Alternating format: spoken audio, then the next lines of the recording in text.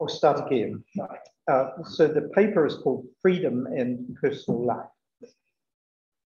In the everyday, we go on as if there is a thing called freedom. We hold ourselves and others responsible. We feel at times we could have done otherwise. Sometimes we regret things that we have done. It often seems up to us whether we go one way or another. And these all point to what we call freedom. And we feel it is important. But when we try to say what it is, we seem to run into impasses. In a world that's powerfully influenced by science, discussion about freedom tends to go on against a very particular set of background concepts. Say I raise my hand to signal to somebody. Among other things, this is a physical change in the world. And as such, it goes back to other physical changes, movement of muscles, and so on. And this seems to be the only way that physical changes can occur. The forces that are in play are understood quite broadly to include phenomena like electromagnetism or gravity, but they have to be part of the broad physical realm, the area that's covered by physics and chemistry.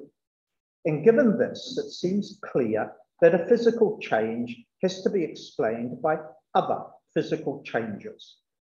And it doesn't look too good for freedom. Some point out that there might be causes of a different sort, like thoughts or deliberations, and that these might be behind the processes that we call free. But if thoughts and deliberations are to cause something physical, they need to incarnate themselves into the physical order. I cannot pick something up with the thought of a hand the picking up has to be done by something physical. And the physical thing has to be moved and turned by something else that is physical. If thoughts or deliberations get in on the act, it is because they can be reduced in the end to physical things, to neural impulses, and so on. Simon Blackburn says that when I decide to get out of bed, a rather self-important mouthpiece announces a free decision and declares that it is responsible for it. But the action is in fact a sum of neural and other happenings that are quite unknown to the mouthpiece. So that the free decision is really, as Blackburn says, a sum total of systems a combination of numerous unnoticed smaller processes. And he quotes an author who says that he's come to realize he is not an absolute sovereign issuing edicts, but rather a constitutional fiction, a face on the postage stamps, a signature at the bottom of decrees written by unidentified powers, invisible courtiers working in parts of the palace that I have never entered and could never find my way to. If we try to introduce freedom against this sort of conceptual background where the physical is caused by the physical, we seem to need something that breaks with the chains of causality, something that happens without any connection to the physical causes that went before the main credible concept that seems to cover this in the contemporary discussion is the random. A recent major attempt to defend freedom within a scientific naturalist framework, that of Robert Kane, goes this way. And he tries to introduce something like quantum indeterminacy into an agent's drives to escape a determinist universe. I think most of us hearing this probably feel it is not what we mean. There's a further contemporary discussion that assumes the processes of physics and chemistry, but it holds that clusters of processes sometimes develop higher levels and act in a way that is top down, so that some of the action in the world is not just the product of the micro levels, but it comes somehow from above. There are two different directions here. Some hold with Kant that the higher level, the free bit, is really just a way of talking that make, helps us to make sense of a complex whole. Kant famously regards biological talk in this way. Others hold that the higher level has a genuine causal force of its own, though one that is in continuity with the microphysical level. Nancey Murphy seems to go this way, and she believes that this sort of um, freedom, uh, this sort of theory, is, is uh, compatible with a certain sort of spirituality uh, and a basic compatibilist freedom. I think that all of these attempts are problematic, and I want to approach the question of freedom from a completely different angle. And I'll suggest that the key moment in understanding freedom is the move into personal life, especially the point where we start to speak to another person. And this moment is a good deal stranger than we usually realize, perhaps because it is so close to us, assumed in everything that we do, and therefore never quite in focus for us in the way that other things are. An emphasis on the personal relocates the problems rather than solving them. But as we know from life generally, relocation can sometimes be a useful start. So I'll begin with an example of the human animal moving into the personal, the area where I think talk of freedom first makes sense. The example comes from the middle of Dostoevsky's Brothers Karamazov, and it concerns an incident in the early life of the elder of the monastery, who's called Zosima. At the time of the incident, he's an officer in the guards, and he holds the attitudes and habits that belong to a guards officer. And he sees the world from this sort of background. Zosima says he looked on the common soldiers as cattle and that all of the officers did this. And he has the exaggerated notions of honor that are part of this worldview. The story tells how he came to move beyond this. He's attracted by a woman in the society that he frequents, and he thinks that she is attracted to him. When he comes back after a two month absence, he discovers she has married somebody else. And even worse, he learns she was in fact engaged to the other man at the time that he knew her before. And he thinks that everybody knew this except him, and he feels he has been made a fool of. He later recognizes that all these assumptions are false. But at the time, as he says, I was incapable of reflecting and was all eagerness for revenge. So he insults the other man publicly, the woman's husband, and he forces him to a duel.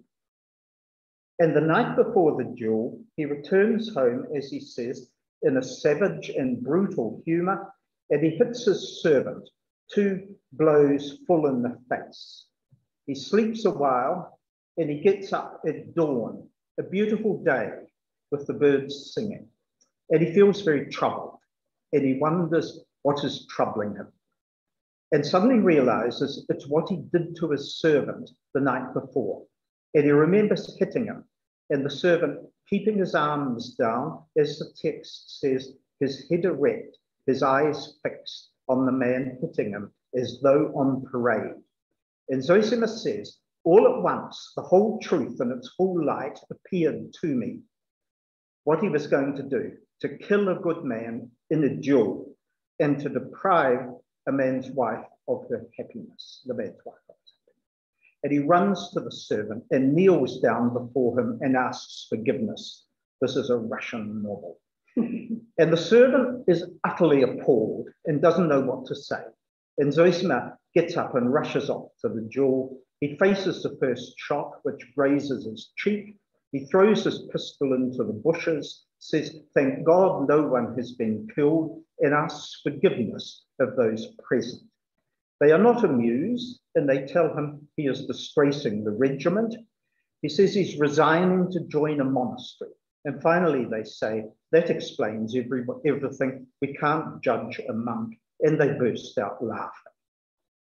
Now, I want to suggest that the moment where he goes and asks forgiveness of the servant illustrates the move into personal life, the basic move that lies at the heart of free action. It's a very strange move. And I'll now look more closely at some of its elements with four main comments about it. The first comment is that if we look at Zosima's world before he asks forgiveness, we can't really find any motive for the action. It's not as though new information comes in during the night that could cause him to change. Everything in his head still encourages him to treat subordinates as cattle and to maintain the honour of the regiment at all costs. It is nothing specific that's intruded that could explain a change. The story suggests a different way of describing what's happened, beginning with the point that the change occurs after Zosima wakes up on a summer's morning and a suggestion that he somehow overall wakes up. The text says, the truth now appeared to him in its full light. Waking up has served in the history of ideas as a metaphor for coming into the real world, the one that we share with others. There's a statement attributed to Heraclitus Awake, we have a common world. Asleep, each enters a private world. And within the viewpoint of one who is asleep, there's no motivation to wake up and enter the common world. Even when we hear something like the sound of rain in a dream, our first tendency is to fold it into the dream so that it becomes a further part of the story of the dream. Waking up requires something different, a move to a different level, where we're not simply living the dream, but we're in a position to look back at it as a whole and to say that we were dreaming. The tradition describes this move as reflection, coming to a different level regarding the things that affect us.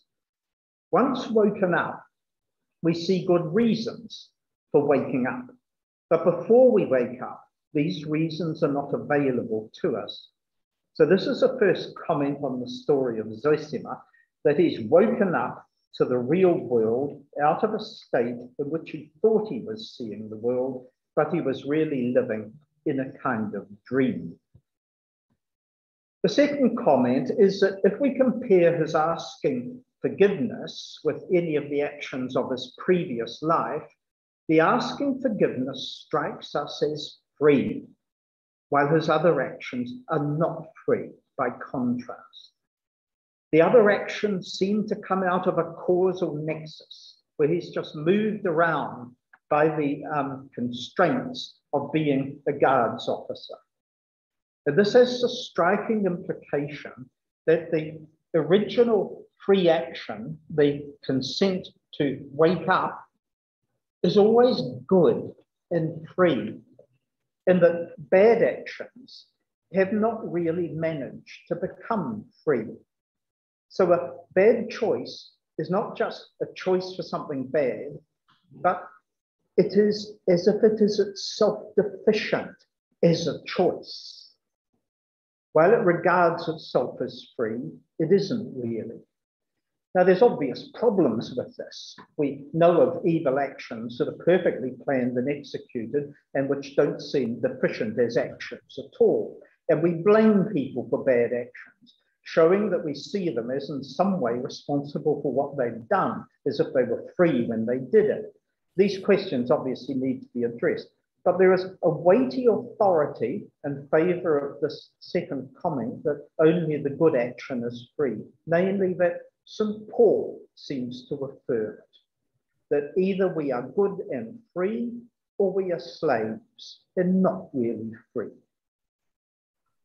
The third comment on Zosima's action is that while we feel his action is free, or at least that it brings him into the realm of freedom, in a sense, he's carried along almost as though he cannot do otherwise. And we all have experience of this. A needy person comes in front of me in such a way that I feel I cannot ignore them. I suppose I can ignore them if I set my face to it and work very hard to keep them out. But this would go against the basic thrust of things. If I just let myself go, I'm carried along and I wake up in the personal. The beatific vision in heaven might be like this. We can't stop ourselves enjoying, loving, affirming the vision of God when we're in face of it, so that we feel we have no alternative. And yet we are never so free at that moment. Perhaps the converse also applies that if we shut ourselves off from this and hold ourselves outside it, we have a definition of hell. There's a scene in the last of the Narnia books where Aslan has won the victory and returned, um, but the dwarfs remain skeptical and suspicious, refusing to accept that anything significant has happened and they reinterpret everything so it just gets folded back into their old unredeemed life. Aslan says of them, they will not let us help them. They have chosen cunning instead of belief. Their prison is only in their own minds, yet they are in that prison and so afraid of being taken in that they cannot be taken out. My fourth comment is about how Zosima's move relates to what it means to exist. His asking forgiveness allows the servant to exist and be present in a way that he could not be present before. The servant has existed in other people's worlds as part of their projects, but has not been allowed to exist as he really is. When he's finally allowed to exist, he doesn't, of course, know what to do. And he's appalled when his master kneels before him. He's used to being part of the lives of others. He does not know what to do with a life of his own. The overall point is perhaps better seen in a further example. There's a thing called Godwin's Law, which says that as an online discussion goes on, the chances keep rising that someone will introduce Hitler or the Nazis. So I'll save time by bringing in an example from the Second World War that was told to Thomas Nagel by the British analytic philosopher Stuart Hampshire about when Hampshire was an intelligence officer with British forces in France after the D-Day landings. And on this particular day, he had to interview a collaborator who was being held by a French resistance group who was thought to have valuable information. The leader of the group told Hampshire before the interview that whatever the man said or didn't say, they were going to shoot him. The first question the man asked Hampshire was, if I tell you what I know, can you give a guarantee that my life will be spared? Hampshire is faced by a choice between lying to the man and perhaps obtaining valuable information or telling him the truth and risking that he will say nothing. And what we notice is that if Hampshire lies and says the man's life will be spared, the man is importantly prevented from properly acting or even appearing in the situation uh, in which he finds himself. He's reduced to being a part of the world that Hampshire projects and manages, and he's not being he's not allowed to exist in his own right.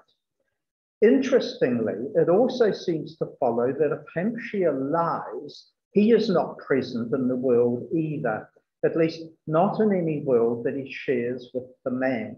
He's like a puppet master in relation to the world of the puppet show, and the puppet master does not show himself within the action of the show. So that's a fourth comment that Zosima's move brings himself and the other into a common world where they can exist as persons. And I think this move into the area of the personal is our basic choice, the root of what we call free choice. Now, the word free here seems to focus on the point that personal life proceeds from the person who pursues it in a radical way, so that nothing is imposed on them from outside. And that shifts the definition of freedom away from the point that freedom fundamentally means being able to go this way or that, what's sometimes called freedom of indifference. And it focuses rather on a human being's finding the completion that it was meant for in personal life and affirming this. Once the step towards personal life is accepted as basic, there are various different levels at which our more everyday choices play themselves out. Some of these choices just follow from the original move into the personal and are obvious consequences of the original choice. For example, obligations regarding supporting children. But with many other choices, we just hand them over to our drives and inclinations. Much of our buying at the supermarket probably goes on in this way. We buy this and not that, basically because we like it. And there's a third important level, which is where we work on our inclinations and reactions and we try to focus them so that they will support personal life. And this is working on one's character, forming good habits and so on, so that our life is drawn into a unity where our inclinations support goals of personal life. So the suggestion is that there's a single big choice we make or don't make, and that this is the um, core of free choice, and that other choices have some relation to this, either following it directly or not mattering much either way, or being part of an attempt to move our, um, our inclinations themselves towards uh, supporting personal life. I think that an account of freedom along these lines as an aspect of personal life carries conviction often when we consider it. The problem is that once we recall the facts of micro causation at the physical or chemical level, all conviction disappears. And we feel a voice in our heads saying that regardless of how we talk in the everyday, in the end, it must be just swarms of particles moved around by other swarms. And for the rest of this paper, I'll ask how the personal view sits to the organic underpinnings of choice, the fact that neurons have to fire and so on if anything else is to happen. And I'll focus on one implication of the microphysical determinist view, which is that it denies the agency of organic wholes in the world. And this has been pointed out uh, recently by the philosopher Helen Steward, who insists that if this is where micro physical determinism leads, it can't be right. And I think this discussion also shows two important further points about the relation of personal freedom to its organic underpinnings. So I'll begin with a couple of contrasting examples from Helen Steward, where she compares descriptions of the behavior of some fragments of potassium on the one side with descriptions of the behavior of a dog on the other side. If we put some fragments of potassium in water, they zip around on the surface, catch a light, transform themselves chemically and eventually settle into a new stable configuration. And we have no trouble seeing this whole event in all its detail as determined by the initial states and positions of the materials, along with the laws that govern their behavior. So the precise trajectory of the movements follows inevitably from the size and shape of the pieces, where they hit the surface, the angle at which they hit the surface, the temperature of the water, the shape of the containing beaker, etc., etc. So that, as Steward says, if we knew all these variables, we might be able to say where precisely the potassium would go. And this is to say that given the initial state and the way the world works, uh, what then happens has to happen so that there can only be one outcome and there's no flexibility. Steward's way of expressing this is to say that at the time of the interaction, nothing is left to be settled by the potassium. She means that potassium does not take the situation a hand in any way so as to settle it one way or another. What happens just happens to it so that there's nothing it itself really does. And Steward then compares that with the case of a hungry dog presented with a dish of tempting food. And while we can predict that the dog will eat the food, she insists that the detail of the activity is not settled in the same way. How fast the dog eats, how often it chews each mouthful, which bit it eats first. All these things, she says, are settled by the dog itself. And they're not settled years in advance by circumstances and the laws of nature. In some ways, Steward's argument is not very good a naturalist determinist would just insist that if we knew enough about what caused the dog to have the character that it does, and we knew its exact neural makeup and so on, and all of the starting circumstances, we could in fact predict all the details uh, of the event with the dog. But the conceptual distinction that Steward is trying to establish is very significant. She points out that if we hold to microphysical determinism and regard the movement of the dog as if it were just like the movement of the piece of potassium, the dog disappears altogether as an agent. She says this picture transforms the dog from a being with agency into a mere machine, essentially a mere place in which various inevitable interactions occur.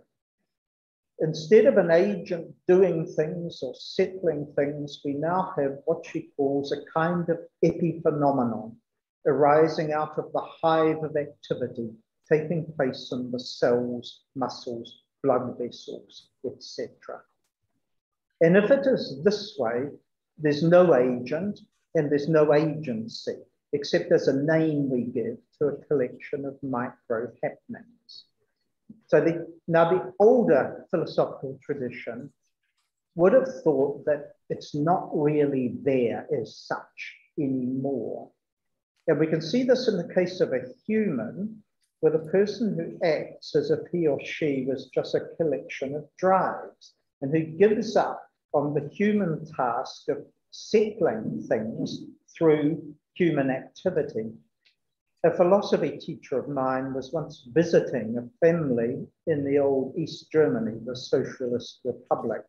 And he got talking to the son of the family, who was a boy about 10 or so. And he asked the boy what sort of person he admired. Who did he think was a figure worth imitating? And the boy replied, In church, it's Jesus. In school, it's Lenin. And this is the answer of someone to whom things are happening, but who has not really taken anything in hand so as to settle it, and who is just like a piece of potassium zipping around on the top of the, uh, on the top of the water.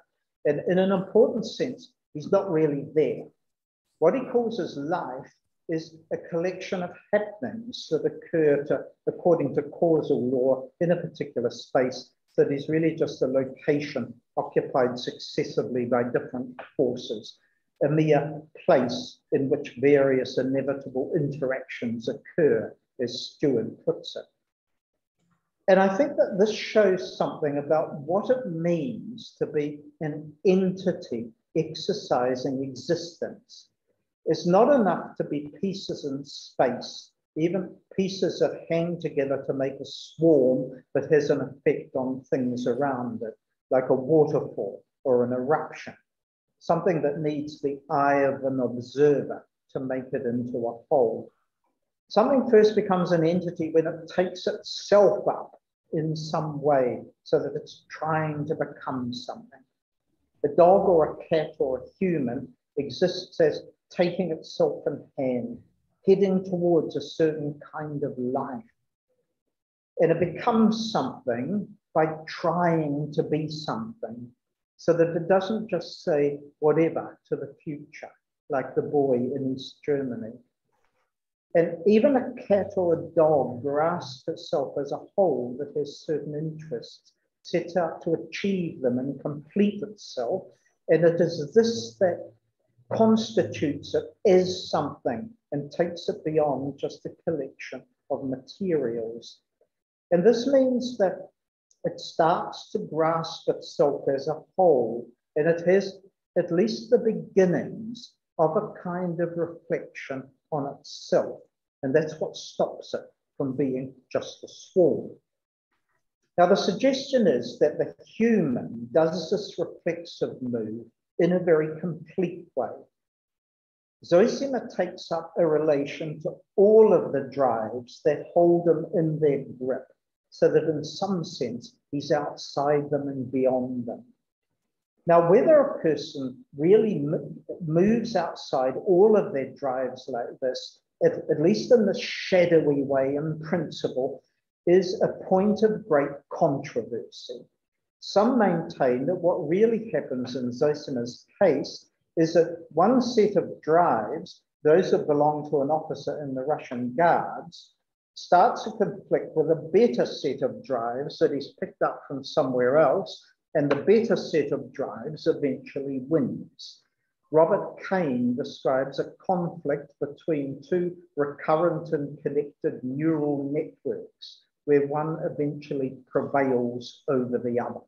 Now, Kane still wants to defend a reasonably strong notion of freedom, but most who hold to this sort of model would just settle for compatibilism and say that freedom just means that the network that wins is internal to us and not imposed from outside.